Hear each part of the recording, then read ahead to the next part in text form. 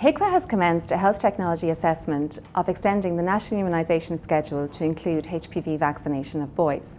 The HPV vaccine has been shown to be safe. It's also highly effective at the prevention of cervical cancer in women. Ireland has a girls only national immunisation programme.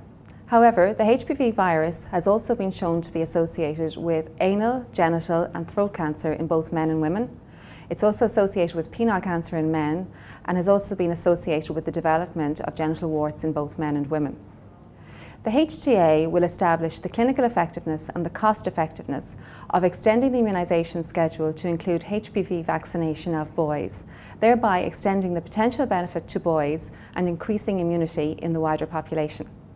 HIQA will undertake this HTA supported by an expert advisory group and following a public consultation, the report will be submitted as advice to the Minister for Health for his consideration.